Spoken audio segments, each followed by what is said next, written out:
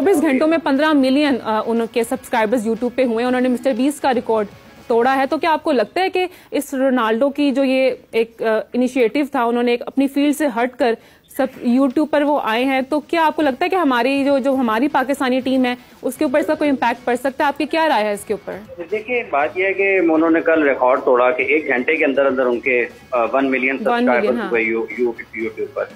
और इससे पहले जो रिकॉर्ड था वो मेरा ख्याल है साउथ कोरियन आर्टिस्ट हैं सिंगर हैं उनका था। हम्म। रोनाल्डो के इस वक्त भी इंस्टाग्राम के ऊपर सबसे ज़्यादा जो हाईएस्ट फॉलोअर्स हैं। वो उन्हीं के हैं।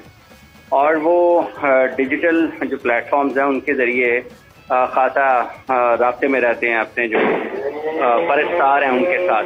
जी। तो आप क्योंकि वो यूट्यूब पर नहीं थे तो योर डॉट क्रिस्टियानो मेरा ख्याल उनका यूट्यूब चैनल है। और हम्म। उस पर लोग धड़ाधड़ उनको फॉलो कर रहे हैं सब्सक्राइब कर रहे हैं।